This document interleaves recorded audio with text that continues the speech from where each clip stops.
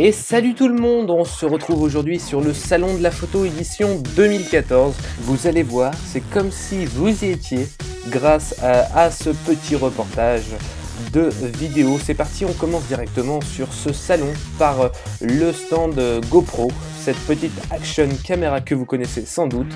Si vous faites un sport extrême comme ce gentil monsieur, n'hésitez pas à la prendre pour avoir un rendu vidéo assez sympathique comme vous pouvez le voir.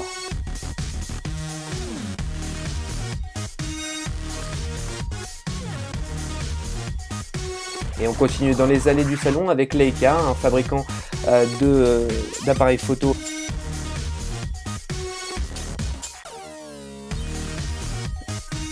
Avec de très jolis euh, appareils photo au physique argentique, plutôt ancien, mais qui a assez de cachet. Et bien sûr sur le salon, il y avait ah oui, le bar à huîtres, oui, on se demande ce que ça fait là, mais ça y était vraiment continue dans les allées de ce salon euh, avec un drone, euh, voilà.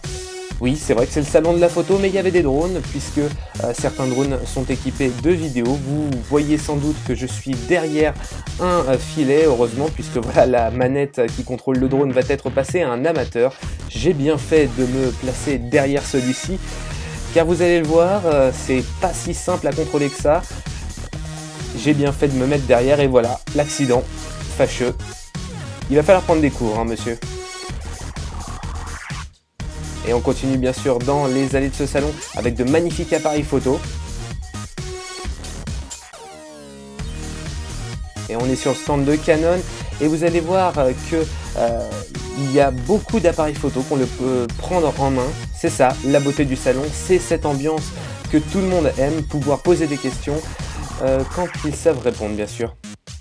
Et là, bien sûr, on pouvait euh, faire comme si on était de véritables paparazzi, s'amuser.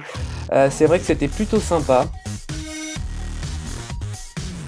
Ah là là, qu'est-ce qu'il s'amuse. Là, on voit des objectifs pour amateurs et juste derrière, en blanc, oui oui, c'est des objectifs pour professionnels. Grande taille quand même.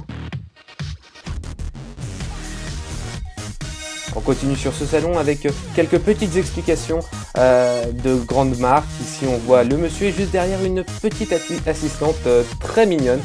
Et oui, c'est ça sur euh, le stand de Canon.